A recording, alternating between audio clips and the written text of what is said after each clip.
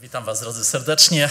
Temat, o którym będę chciał dzisiaj mówić, to czy moje dzieci będą zbawione. Stąd takie pieśni, które będziemy dzisiaj śpiewać i już śpiewaliśmy jedną taką dziecięcą, piękną pieśń i jeszcze drugą. Ale zanim będzie kazanie, chciałbym taką krótką historię dla dzieci. Widzę, że macie tutaj taką dosyć gromadkę kilkuosobową dzieci. To jest piękne też, jeżeli one są angażowane w nabożeństwie. Widziałem z jakim zaangażowaniem tutaj dzieci, młodzież zbiera dary, czy tam pomaga w obsłudze sprzętu. To jest wielkie błogosławieństwo dla zboru, że ma dzieci i że dzieci mogą być prowadzone do Chrystusa. Taką krótką historię wam opowiem. Ciocia, powiedzmy, że była to ciocia Dorotka, podjechała pod supermarket, żeby zrobić zakupy i zostawiła tam swój samochód na parkingu, poszła, zrobiła zakupy, po czym wraca i kierując się coraz bliżej, bliżej już w stronę miejsca, gdzie był zaparkowany jej samochód, nagle jej uwagę zwróciło coś dziwnego. Tak patrzy, przecież ja sama przyjechałam tym samochodem i zostawiłam go tam na parkingu, ale ten samochód, on się porusza. Jak to możliwe? Przecież ja mam kluczyki, ten samochód się porusza, no niemożliwe. Ale tak przychodzi bliżej, bliżej, coraz bliżej podchodzi yy, i patrzy, no ten samochód się porusza, ale, ale on nie jedzie. Ale jak to możliwe, żeby samochód nie jechał, a się poruszał? To zwróciło jej uwagę, zaciekawiło, podeszła jeszcze bliżej, jeszcze bliżej. No faktycznie samochód się porusza, chociaż nie jedzie. Kiedy podeszła jeszcze bliżej, zauważyła i zrozumiała, dlaczego ten samochód się porusza. Tak naprawdę samochód nie poruszał się, ale wokół samochodu krążył olbrzymi rój pszczół. I tak, kiedy się obserwowało z pewnej odległości, to robiło to takie wrażenie, jakby ten samochód się poruszał. I z tej historii możemy czegoś się nauczyć, bo pszczółki mają to do siebie, że przebywają ze sobą razem i takimi rojami mieszkają sobie razem w ulu i razem wykonują swoją pracę właśnie z której mają korzyść jako cała gromadka, cały rój pszczół. I my też jako ludzie mamy korzyść z różnych produktów, które pszczoły nam dają, jak na przykład z miodu, czy z wosku, czy z pyłku pszczelego. I taki rój pszczół troszkę przypomina nam Kościół. Dlatego, że w kościele my też tworzymy pewną grupę, pewną społeczność, której każdy ma swoje zadanie. W takim roju pszczół one też są podzielone. Jedne są robotnicami, inne jest królowa, są pszczoły, które zajmują się ochroną e, ulu. Także pamiętajcie, dzieci, że tutaj w kościółku jesteście mile widziane. Tu jest miejsce właśnie też, gdzie wy możecie być, aby uczyć się o Bogu, aby być w społeczności z rodzicami, ze starszymi e, braćmi, siostrami, ciociami, e, jak to nazywamy. My wszyscy tworzymy jedną wspólnotę, także Pan Jezus kocha dzieci i o tym będziemy też dzisiaj mówić. Będziemy mówić o tym, także, co jest e, troską wielu rodziców, kiedy ich dzieci nie wybierają drogi Bożej. Czy moje dzieci będą zbawione? To pytanie, które wiele matek sobie zadaje. Spróbujemy odpowiedzieć na to pytanie. E, oczywiście będziemy mówić o małych dzieciach, które nie są jeszcze na tyle dojrzałe, aby odpowiadać same za siebie. W sprawach doczesnych dzieci, które nie są jeszcze dorosłe i samodzielne, tak naprawdę dzielą los swoich rodziców i konsekwencje ich postępowania. Jednakże nie winę za grzechy swoich rodziców. Y, możemy przeczytać kilka tekstów biblijnych, y, które są uzasadnieniem y, takiego poglądu, który jest dosyć oczywisty, że los dzieci małych jest związany z losem rodziców. Kiedy Jakub miał stanąć z, w oko w oko ze swoim bratem Ezawem, modlił się: Wyrwij mnie, proszę, z ręki brata mego, z ręki Ezawa, bo boję się go, że przyjdzie i zabije mnie oraz matkę z dziećmi. Także los dzieci był związany z losem rodziców. Jakub obawiał się, że jeżeli on zginie, zginie matka dzieci, to dzieci również zostaną zabite. Kiedy w końcu doszło do tego spotkania Jakuba z Ezawem, czytamy, że miała miejsce taka scena. Potem przybliżyły się służące z dziećmi swymi i pokłoniły się. Przybliżyła się też Lea z dziećmi swymi i pokłoniły się. Potem przybliżył się Józef i Rachela i pokłonili się. Więc widzimy, że te małe dzieci, e, które towarzyszyły swoim rodzicom, one robiły to, co rodzice. Kiedy rodzice kłaniali się e, na znak e, szacunku przed Ezawem, kłaniały się też dzieci. Także los dzieci był powiązany z losem rodziców.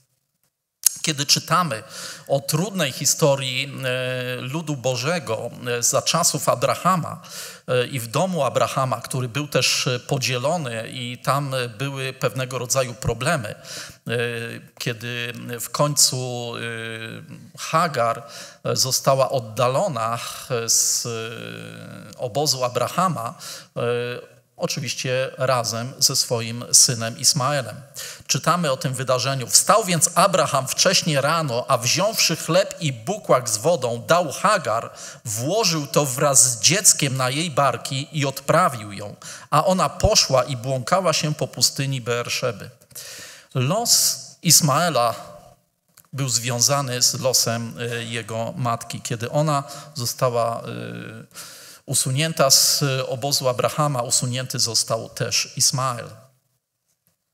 Kiedy za czasów e, Estery został wydany wyrok na Żydów, e, czytamy, że miało to miejsce w taki sposób, że król zezwolił Żydom po wszystkich miastach zgromadzić się i stanąć w obronie swojego życia, to jest mowa o tym drugim dekrecie, kiedy już Żydzi mogli się bronić, wszystkich zaś zbrojnych jakiegokolwiek ludu czy prowincji wrogo odnoszących się do nich wygubić, pozabijać i wytracić wraz z dziećmi i kobietami, a mienie ich zagrabić. Widzimy tutaj kolejny dowód na to, że los dzieci, które nie są jeszcze samodzielne, jest związany z losem rodziców. Za dzieci, które nie są jeszcze dorosłe i samodzielne, decyzje o ich losie podejmują rodzice. Jest to oczywiste w kwestiach doczesnych. Jak jest to jednak w kwestii zbawienia, w sprawach zbawienia? E, czytamy taką, e, takie ciekawe prawo, które było e, podane przez Mojżesza i w Izraelu było stosowane. W czwartej Mojżeszowej, 30 rozdział, 4 do 6 werset. Jeśli jednak kobieta złoży ślub Panu i zobowiąże się do wstrzemięźliwości jeszcze w domu swego ojca w swojej młodości, czyli zobowiąże się, złoży taki ślub, że nie wyjdzie za mąż, to gdy jej ojciec słyszał jej ślub i zobowiązanie, którym zobowiązała się do wstrzemięźliwości, a nie odezwał się do niej, ważne będą wszystkie jej śluby i wszelkie zobowiązania do wstrzemięźliwości, które na się wzięła. Więc jeżeli ojciec nie zaprotestował przeciwko ślubowi e, tej córki, która e, jeszcze nie była na tyle dorosła i samodzielna, e, żeby za siebie decydować, kiedy pozostawała w domu ojcowskim, ojciec pewne decyzje miał, pomimo tego, że ona je podjęła, mógł te decyzje zmienić. Lecz jeśli jej ojciec sprzeciwił się jej w dniu, kiedy usłyszał o wszystkich jej ślubach i zobowiązaniach, którymi zobowiązała się do wstrzemięźliwości, to nie będą one ważne. Pan jej odpuści, gdyż jej ojciec się jej sprzeciwił. Widzimy więc, że rodzice, nawet w tak ważnych kwestiach, w czasach biblijnych e, mieli tutaj e, do powiedzenia. Oczywiście nie chcę rozwijać tego wątku, e, w jakim wieku to była osoba, której ojciec mógł unieważnić jej decyzję. Ale widzimy tutaj, że właśnie rodzice odpowiadają za dzieci i za nich też podejmują pewne ważne decyzje. Kiedy czytamy w dziejach apostolskich, stróż więzienny Filipi, kiedy nawrócił się, w dziejach apostolskich 16, 30 i 31 czytamy i wyprowadziwszy ich na zewnątrz, czyli Pawła i Sylasa, którzy tam byli, rzekł, panowie, co mam czynić, abym był zbawiony? To było pytanie tego człowieka, który był głową swojego domu. A oni rzekli, uwierz w Pana Jezusa, a będziesz zbawiony. Kto? Ty i Twój dom. Także widzimy tutaj jeden z wielu tekstów, które będziemy dzisiaj analizować, że wierzący rodzic uświęca swoje dzieci. Wiara wierzącego rodzica okrywa również małe dzieci. I ty uwierzysz, a będziesz zbawiony nie tylko ty, ale i twój dom, w sensie takim, że te jeszcze nie na tyle dojrzałe dzieci e, będą zbawione na skutek Twojej wiary, która je okrywa, ale też e, ci, którzy za siebie decydują e, w tym domu, będą mieli możliwość podjęcia decyzji i będziesz mieć, mieć wpływ na nich, aby prowadzić ich do decyzji, żeby oni osobiście przyjęli Chrystusa wtedy, kiedy z prawdą Ewangelii się zapoznają. W księdze Ezechiela czytamy na temat odpowiedzialności, właśnie czy rodzice odpowiadają za grzechy swoich dzieci. Człowiek, który grzeszy, umrze. Syn nie poniesie kary za winę ojca, ani ojciec nie poniesie kary za winę syna. Jest tutaj mowa oczywiście o osobach dorosłych. Sprawiedliwość będzie zaliczona sprawiedliwemu, a bezbożność spadnie na bezbożnego. Więc e, kiedy dziecko osiąga już e, taki wiek i taką dojrzałość, że jest w stanie samo za siebie decydować, to ponosi konsekwencje, też wieczne e, konsekwencje swoich decyzji, swoich wyborów. W drugiej księdze kronik czytamy, jak jeden z królów izraelskich doszedł do władzy E, co zrobił e, z ludźmi, którzy spiskowali i targnęli się na życie jego ojca. Gdy wszakże władza królewska umocniła się w jego ręku, kazał zabić tych ze swoich dostojników, którzy zabili króla jego ojca. Lecz ich synów nie kazał zabić, gdyż tak jest napisane w zakonie w księdze Mojżeszowej, gdzie Pan nakazał: Nie poniosą śmierci ojcowie za synów, ani synowie nie ponoszą śmierci za ojców, lecz każdy za swój grzech śmierć poniesie. Kiedy mowa jest o osobach dojrzałych, dorosłych, które są w stanie odpowiadać za swoje czyny przed Bogiem, każdy odpowiada za swoje grzechy i postęp, y, konsekwencje swoich wyborów ale jest coś charakterystycznego właśnie w odpowiedzialności rodziców za swoje dzieci. E, przyjrzyjmy się takiemu jednemu z trudnych tekstów na ten temat e, w Ewangelii Mateusza, 27 rozdział, 24-25 werset. Kiedy jest scena sądu e, Piłata nad Panem Jezusem i lud temu się przygląda, a Piłat, ujrzawszy, że to nic nie pomaga, kiedy próbował e, uwolnić Pana Jezusa, wiedząc, że z zawiści e, Żydzi go wydali, przeciwnie, że zgiełk się wzmaga, wziął wodę, umył ręce przed ludem i rzekł: Nie jestem winien krwi tego sprawiedliwego, wasza to rzecz. Ale ciekawa jest w tym wszystkim reakcja tłumu. A cały lud odpowiadając rzekł: Krew jego na nas to jeszcze jest, myślę, zrozumiałe, prawda? I dosyć oczywiste. Czyli e, Piłat umył te ręce jako symbol.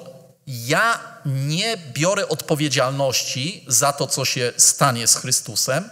To wasza sprawa. Wyście to ukartowali. Ja za to odpowiedzialności nie ponoszę.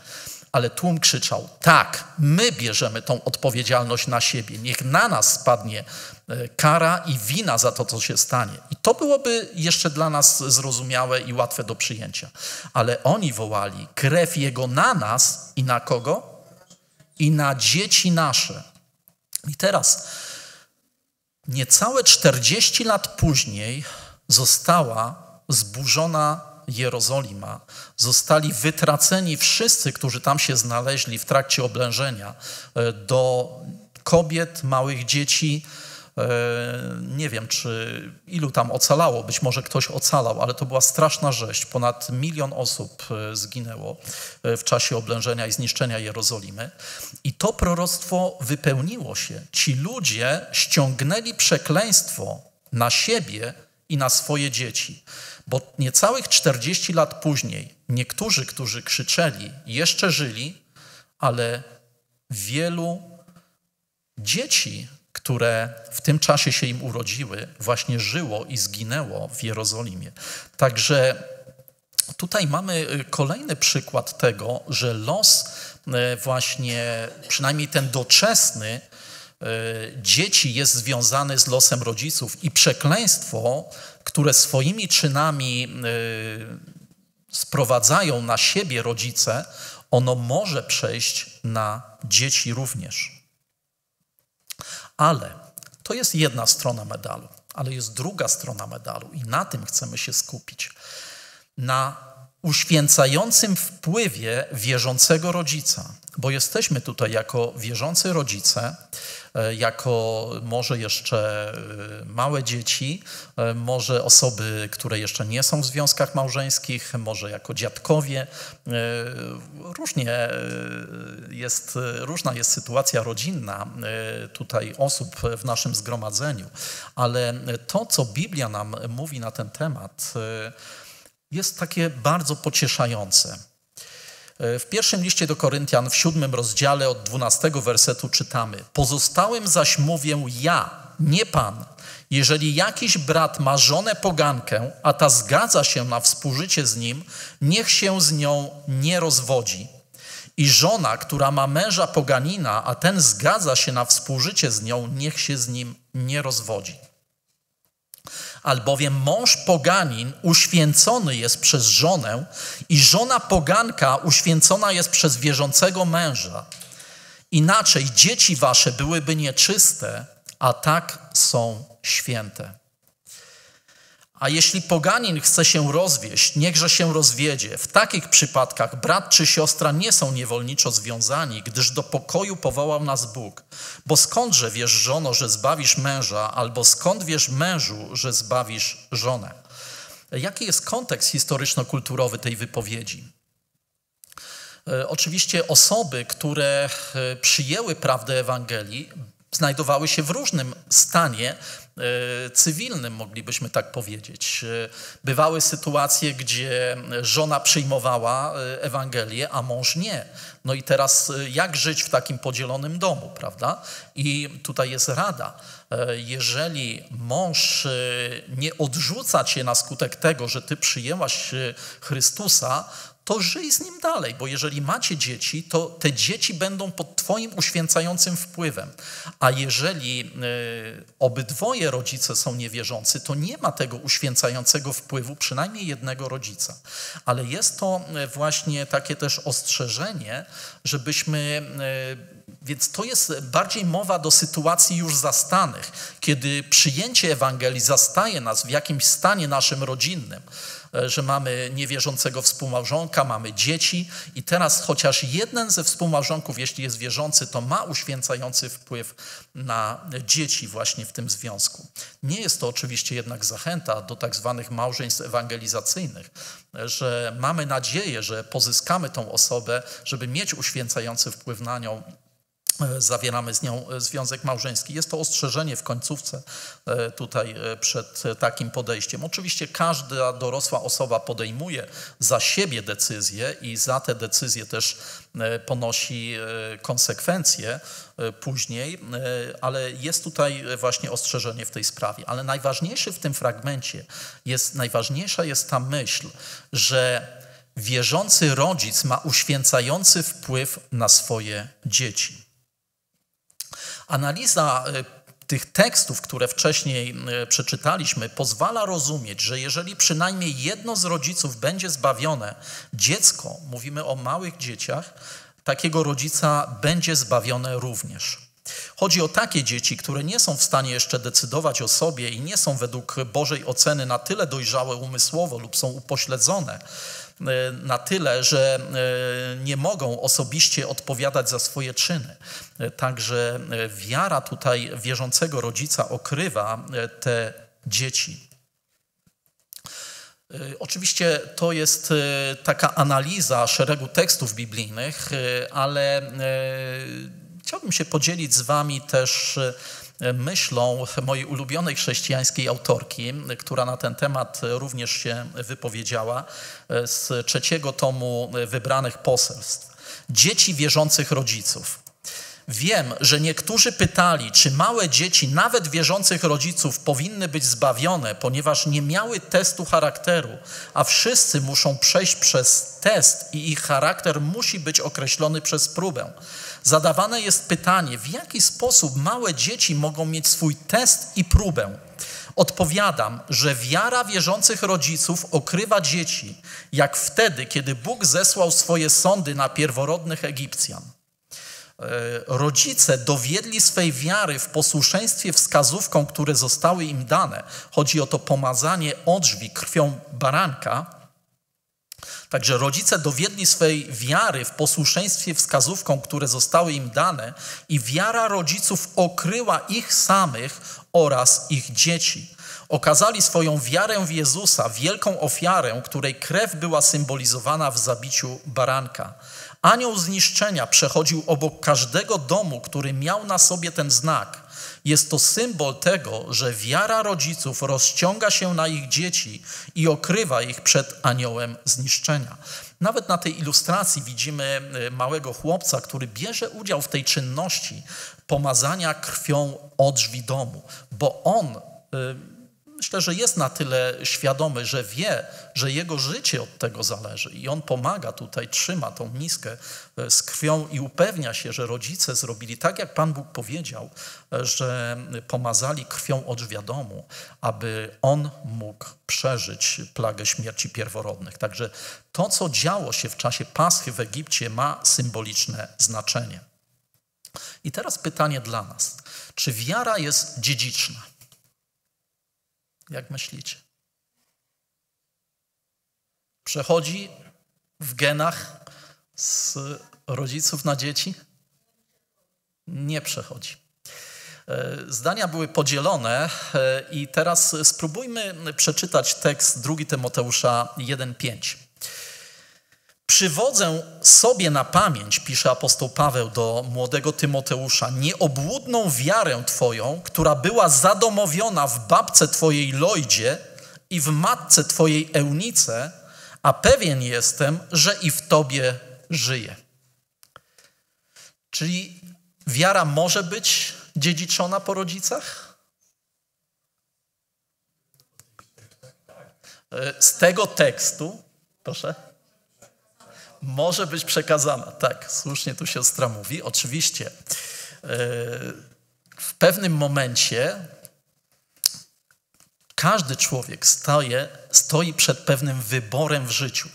Jemu może być łatwiej, bo jest wychowany w chrześcijańskim, wierzącym e, domu, e, i tutaj jest o tym mowa, że ta wiara jest w pewnym sensie przekazywana poprzez przykład i prowadzenie duchowe, ale w pewnym momencie e, to nie jest coś, co automatycznie e, przychodzi, e, tak jak dziedziczenie jest, bo jestem synem osoby, która zmarła i na przykład dziedziczę po tej osobie z mocy prawa. To nie dzieje się automatycznie, ale ta wiara może być przekazana w pewnym takim sensie, żeby ułatwić tej młodej osobie decyzję pójścia za Bogiem. I widzimy przykład, kiedy trzy pokolenia e, wierzących e, po prostu tą samą wiarę dzieliły. I teraz jaka jest rola rodziców w tym wszystkim? Bo chcemy skupić się na tym, jak być dobrymi, wierzącymi rodzicami, którzy rozciągają swój uświęcający wpływ na swoje dzieci. Niechaj słowa te, które ja Ci dziś nakazuję, będą w Twoim sercu Od tego się zaczyna. Aby mieć uświęcający wpływ na nasze dzieci, my sami musimy być pod uświęcającym wpływem Bożym. Będziesz je wpajał w swoich synów i będziesz o nich mówił, przebywając w swoim domu, idąc drogą, kładąc się i wstając, przywiążesz je jako znak dla swojej ręki i będą jako przepaska między twoimi oczyma. Wypiszesz je też na odrzwiach twego domu i na twoich bramach. Widzimy tutaj, że jest pokazana ważna rola, którą mają rodzice, którzy mają przekazywać te prawdy, aby dzieci nimi nasiąkały. I e, widzimy w przykładzie Jochebed, matki Mojżesza, która miała ograniczony czas wpływu na swojego syna, aby przygotować go, aby jego wiara była na tyle mocno ugruntowana, aby ostał się w obliczu tych pokus, z którymi musiał się zmierzyć, kiedy został zabrany jako adoptowany syn córki królewskiej na dwór Egiptu. Także jest ważna rola rodziców, aby sami trwali przy Bogu i aby swoje dzieci do Boga prowadzili. Odpowiedzialność oczywiście przed Bogiem jest proporcjonalna do świadomości. Czytamy o tym e, między innymi w przypowieści, którą Pan Jezus przedstawił w Ewangelii Łukasza w 12 rozdziale od 47 wersetu. Ten zaś sługa, który znał wolę Pana swego, a nic nie przygotował i nie postąpił według jego woli, odbierze wiele razów. Lecz ten, który nie znał, choć popełnił coś karygodnego, odbierze niewiele razów. Komu wiele dano, od tego wiele będzie się żądać, a komu wiele powierzono, od tego więcej będzie się wymagać. Także ta odpowiedzialność w Bożym osądzie spraw jest proporcjonalna do świadomości, jaką ma dana osoba. Czy my, jako y, współcześni adwentyści, jak myślicie, na jakim poziomie jest nasza odpowiedzialność y, przed Bogiem za to, co robimy w naszym życiu, tak od 1 do 10? Dziesięć. Jeszcze nigdy w historii ludzkości nie było takiej znajomości prawd Słowa Bożego, jaka jest dzisiaj. My korzystamy z pewnych doświadczeń e, wielu pokoleń wierzących przed nami. My mamy do swojej dyspozycji Biblię w każdej wersji, w każdym przekładzie do studiowania. E, mamy różnego rodzaju ciekawe książki, które pomagają w zrozumieniu pewnych trudnych rzeczy. E, mamy internet, mamy taką, taki dostęp do praw Słowa Bożego, jakiego nie było jeszcze nigdy w historii ludzkości. I stąd nasza odpowiedzialność też przed Bogiem jest wysoka. Ale ci, którzy tej wiedzy nie mają, e, tej odpowiedzialności e, nie mają w takim zakresie jak my, o, ich odpowiedzialność jest mniejsza. I mamy tą myśl Pana Jezusa właśnie o tym, że dzieci są mile widziane u Boga, dzieci są mile widziane w Jego kościele. Jezus zaś przywołał je, te dzieci, które tam były, i rzekł: Pozwólcie dzieciom przychodzić do mnie i nie zabraniajcie im. Czy mamy w zborze osoby, które e, zabraniają dzieciom przychodzić do Jezusa? No powiedzielibyśmy, ależ skądże znowu, prawda? Nie, nie, my się bardzo cieszymy, że są dzieci, e, ale nasza postawa może być tym, co te dzieci odpycha, bo dzieci są dobrymi obserwatorami. Im bardziej dojrzałe wchodzą w wiek młodzieńczy, tym bardziej też krytycznie oceniają i widzą hipokryzję, która nieraz w naszym życiu jest. Dlatego my możemy być tymi, którzy odpychają dzieci od e, Chrystusa i nasza odpowiedzialność jako rodziców w tym jest bardzo duża albowiem do takich należy Królestwo Boże, do tych dzieci. Zaprawdę, zaprawdę powiadam wam, kto nie przyjmuje Królestwa Bożego jak dziecię, nie wejdzie do niego. Ja pamiętam jednego naszego brata, którego niesamowicie cenię za wiedzę biblijną. Słucham jego wykładów e, i jestem pod niesamowitym wrażeniem, e, jak Bóg daje mu zrozumienie tych trudnych rzeczy, które dla mnie e, są jeszcze za trudne. I on opowiada o swoim pierwszym kazaniu. Podzielę się tą historią, bo była dla mnie fascynująca. On tak przygotował się na swoje pierwsze kazanie, tak, y, wiecie, tak y, długo studiował, tak przygotowywał, żeby to było takie naprawdę świetne kazanie. Przygotował to kazanie, przyjechał do tego zboru I wiecie, w trakcie kazania tam było małe dziecko, niemowlę, które, jak myślicie, co robiło? Płakało i zagłuszało i rozpraszało wszystkich. I on na końcu po tym kazaniu taki, tak sobie myślał, Panie Boże, ja się tak starałem, tak się przygotowywałem i to małe dziecko zrujnowało całe moje kazanie. I wiecie, w pewnym momencie była końcowa modlitwa w tym zborze. I jeden z braci modlił się, bo to dziecko, to niemowlę po raz pierwszy było w tym zborze przyniesione przez swoich dzieci, przez swoich rodziców, przepraszam. I ten brat modli się, Panie Boże, jak my jesteśmy Tobie wdzięczni, że dzisiaj po raz pierwszy od wielu lat słyszeliśmy w tym zborze płacz dziecka. I ten brat, który mówił to kazanie, aż mu ciarki przeszły po plecach i mówi, Panie Boże, wybacz mi. Ten zbór cieszy się, że słyszy płacz dziecka, bo dziecka w tym zborze nie było od wielu lat. A ja skupiam się na tym, że to dziecko zrujnowało moje kazanie. Wybacz mi, Panie Boże. Dlatego, jeżeli dzieci płaczą na nabożeństwie, oczywiście e, bądźmy wyrozumiali. I cieszmy się, że są w tej społeczności. Oczywiście ja nie mówię o takich sytuacjach, że dzieciom mamy po prostu pozwalać na wszystko, żeby się dobrze czuły, bo my mamy prowadzić je do Boga. E, ale też e, pamiętajmy, że do takich należy Królestwo Boże. Nie musimy się martwić o zbawienie naszych dzieci, ani też, że ciąży nad nimi przekleństwo grzechu pierworodnego i potępienie, dopóki nie zostanie dla nich wykonany jakiś obrząd, e, który w Kościele powszechnym to są chrzciny, żeby zmazać grzech pierworodny.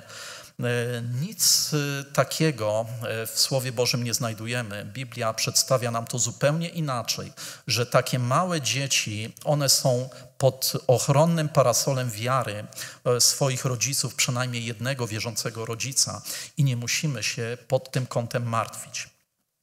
Powinniśmy raczej dbać, byśmy my jako rodzice byli wierni Bogu, abyśmy byli dobrymi rodzicami, e, którzy przekazują swoim dzieciom prawdę o Bogu.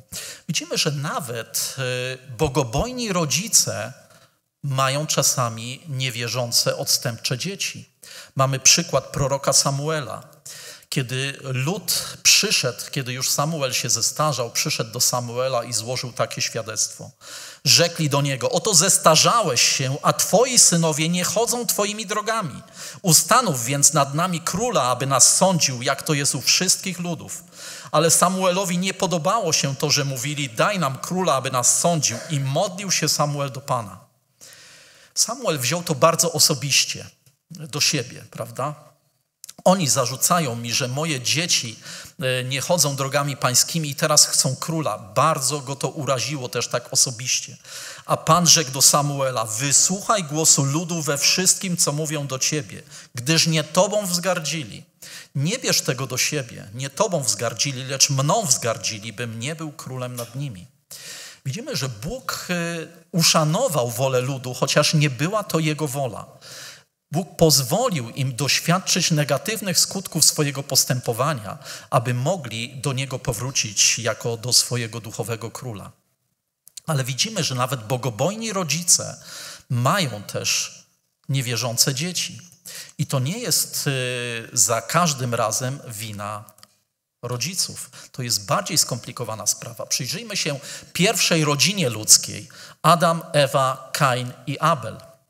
Po niejakim czasie Kain złożył Panu ofiarę z płodów rolnych. Abel także złożył ofiarę z pierworodnych trzody swojej i stłuszczył ich. A Pan wejrzał na Abla i na jego ofiarę, ale na Kaina i na jego ofiarę nie wejrzał. Wtedy Kain rozgniewał się bardzo i zasępiło się jego oblicze. Ci sami rodzice mają dwójkę dzieci, z których jeden idzie Bożą drogą, a drugi nie. Czy jest to wina rodziców, którzy źle wychowywali Kaina? Ktoś mógłby powiedzieć, no tak, Kain był takim pupilkiem, bo był pierworodnym, e, Adam i Ewa zepsuli Kaina, a Abla już troszeczkę e, się zreflektowali i Abla już inaczej wychowywali. I mógłbym przyjąć taki argument, oczywiście są to czyste spekulacje, e, aczkolwiek myślę, że zbyt daleko idące. Ale co z Bogiem? O Bogu czytamy, że jest wychowawcą, który nie ma sobie równych. W księdze Joba. Oto Bóg jest wzniosły w swym działaniu. Gdzież jest taki wychowawca jak on? To jest oczywiście pytanie retoryczne. Nie ma lepszego wychowawcy niż Bóg. I powiedzcie mi teraz, jak to się stało, że najlepszy wychowawca wszechświata stracił jedną trzecią swoich dzieci?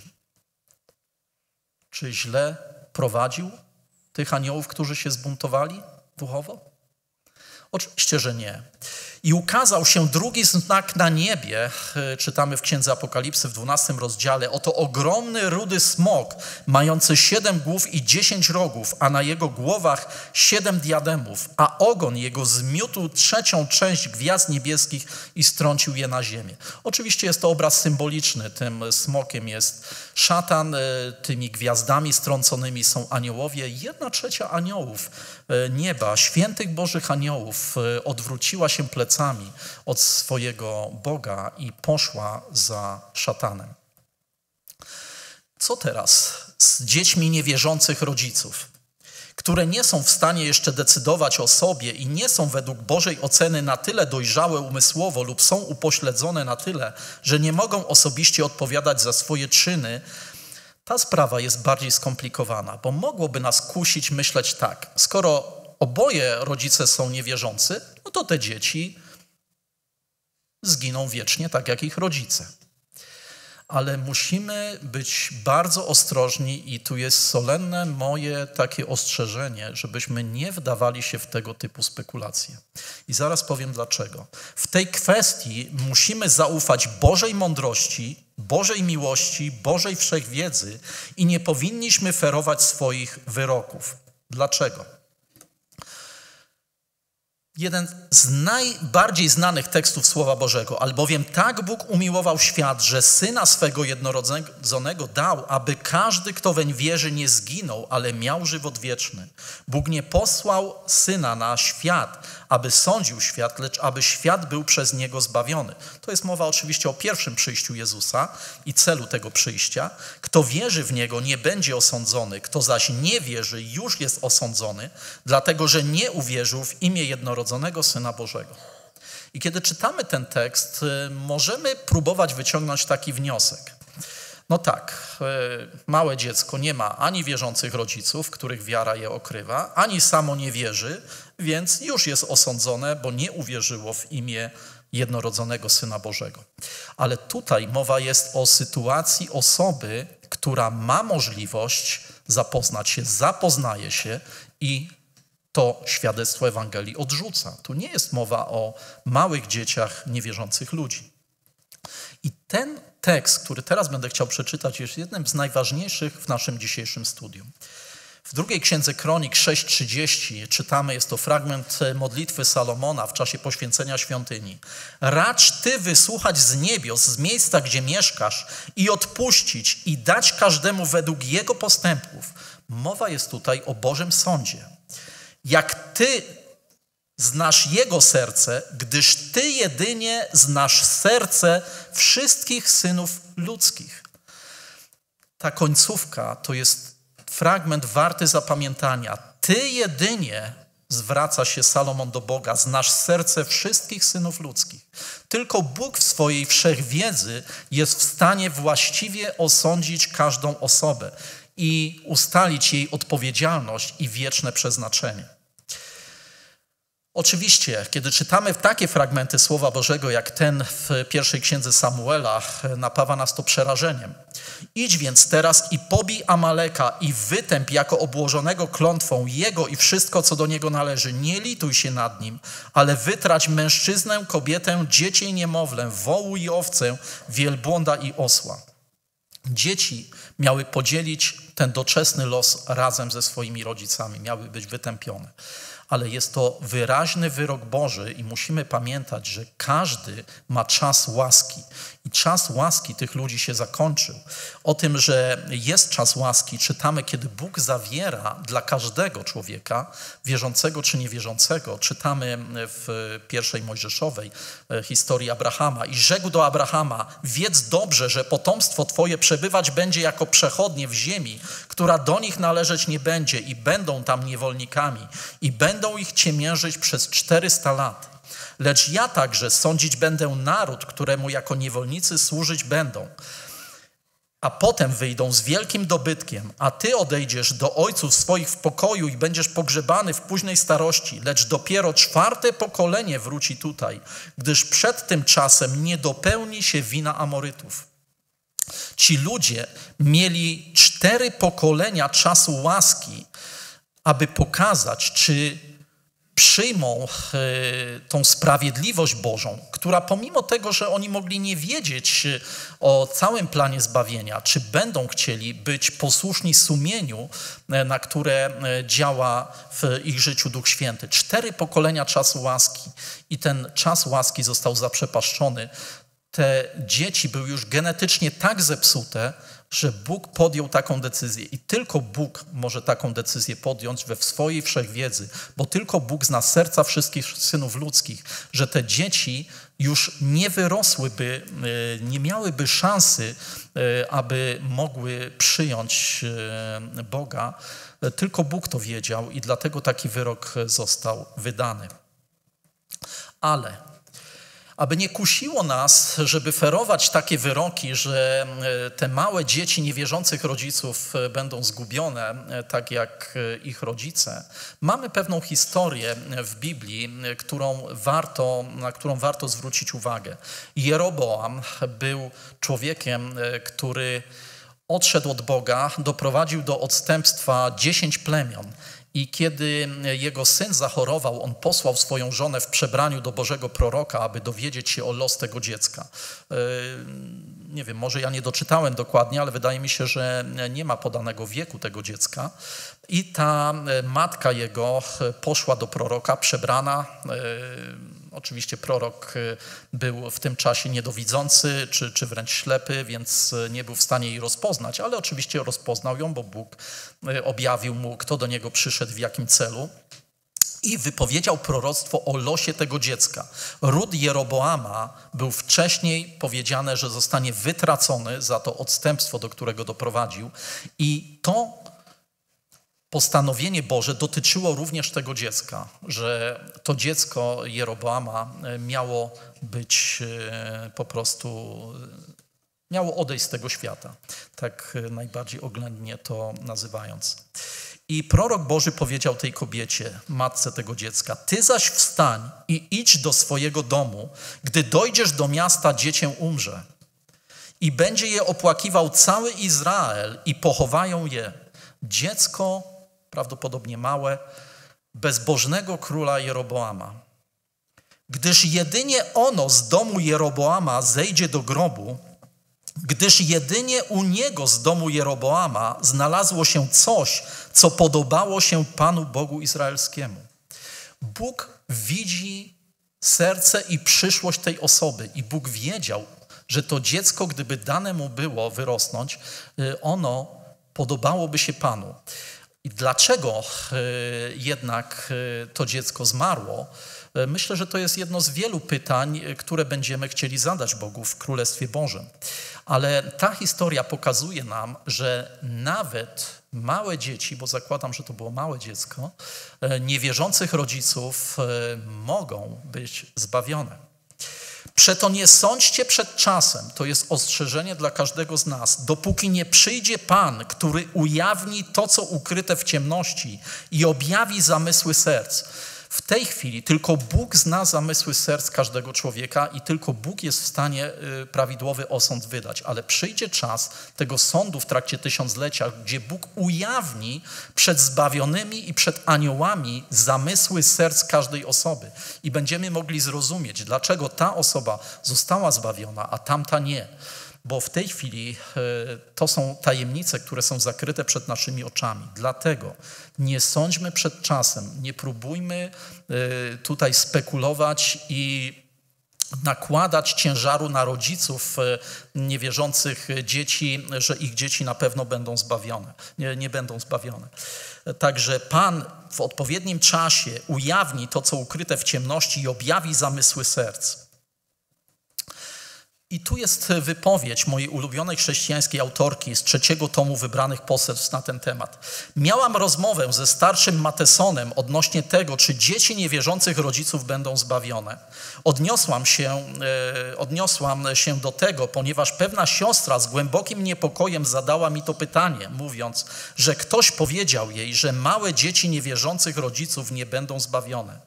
To powinniśmy rozważyć jako jedno z pytań, co do których nie mamy swobody wyrażania stanowiska czy opinii. Z tego prostego powodu, że Bóg nie powiedział nam definitywnie w swoim słowie na ten temat. W tej sprawie powinniśmy milczeć. Gdyby uznał, że jest to kluczowe, abyśmy to wiedzieli, powiedziałby nam to wyraźnie. Jest to najbardziej delikatna kwestia wielu niewierzących rodziców, i to jest poselstwo do nas, rodziców wierzących. Wielu niewierzących rodziców kieruje swoimi dziećmi z większą mądrością niż wielu tych, którzy twierdzą, że są dziećmi bożymi. Poświęcają wiele trudu, żeby uczynić je miłymi, uprzejmymi, niesamolubnymi oraz by nauczyć ich posłuszeństwa i w tym niewierzący okazują większą mądrość niż ci rodzice, którzy mają wielkie światło prawdy, ale których uczynki w żaden sposób nie współgrają z ich wiarą. Bóg chce, abyśmy myśleli, mówili i przedstawiali innym prawdy, które są jasno objawione, a które nie mają nic wspólnego z przedmiotami spekulacji, które nie mają żadnego specjalnego odniesienia do zbawienia naszych dusz. Przyjdzie taki czas, kiedy to proroctwo z księgi Jeremiasza e, będzie miało swoje inne wypełnienie niż e, te, te, jakby pierwotne znaczenie tych słów, które tu są zapisane. Miasta południa są zamknięte i nikt nie otwiera. Cała Juda wzięta do niewoli, doszczętnie uprowadzona. Jest to mowa o stanie narodu izraelskiego e, po zniszczeniu Jerozolimy. Pustka, nie ma nikogo, uprowadzeni ludzie. I teraz jest pewne wyzwanie w tym tekście. Podnieście wasze oczy i patrzcie, jak przychodzą z północy. Tu jest zapowiedź tego, że chociaż teraz jest spustoszenie, nie ma tu nikogo, to jednak y, powrócą y, ci, którzy mieszkali w tym kraju, wrócą. I gdzież jest trzoda po tobie powierzona, pada pytanie, wspaniałe twoje stado. To jest pytanie, które będzie zadane też rodzicom. Jaki wpływ y, uświęcający wywierałeś na swoje dzieci? E, gdzie jest Twoje statko? E, oczywiście tu jest mowa do pasterzy, dla których owce to było całe ich życie, e, ale do nas dzisiaj, gdzie są Twoje dzieci? Czy są tutaj wśród zbawionych? Jak Ty wypełniałeś tą rolę rodzica, do której zostałeś powołany? Takich kilka ciekawych myśli niedawno e, spotkałem i tym będę chciał zakończyć nasze studium. Pięć rzeczy, których nie można cofnąć. Oczywiście, gdybyśmy wysilili się, to moglibyśmy znaleźć znacznie więcej rzeczy, których nie można cofnąć, ale ktoś poukładał te myśli w taki sposób. Nie można cofnąć kamienia, który został rzucony, słowa, które zostało powiedziane, okazji, której się nie wykorzystało, czasu, który przeminął, i zaufania, które zostało złamane. Dlatego wyzwanie, które jest dzisiaj do nas, i to nie tylko do rodziców, do dziadków, do młodych ludzi, którzy stają jeszcze przed e, takimi decyzjami życiowymi, czy będą w związkach małżeńskich, czy będą mieli dzieci kiedyś. Bądź, e, baczcie więc pilnie w liście do Efezjan 5 rozdział, jak macie postępować nie jako niemądrzy, lecz jako mądrzy abyśmy nie znaleźli się w sytuacji, że zrobimy rzeczy, których nie da się cofnąć, wykorzystując czas, gdyż dni są złe. Czasu, który dzisiaj jest nam dany, nie będziemy mogli wrócić. Mamy wykorzystywać czas, gdyż dni są złe. Dlatego nie bądźcie nierozsądni, ale rozumiejcie, jaka jest wola Pańska. Poświęćmy czas dzisiaj i nasze wysiłki, żeby budować naszą więź z Bogiem, aby też przekazywać e, to naszym dzieciom wnukom. Uświęcający wpływ wierzącego rodzica, jeszcze raz ten tekst, albowiem mąż poganin uświęcony jest przez żonę i żona poganka uświęcona jest przez wierzącego męża.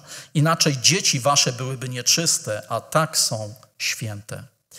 Rzymski historyk Tytus Liviusz powiedział: Słowa uczą, przykłady pociągają. Jaka jest największa rola nas jako rodziców? Edukacja. Ale jak ta edukacja może się odbywać? I tą myślą będę chciał zakończyć nasze studium. Najlepszy wykład to Twój przykład.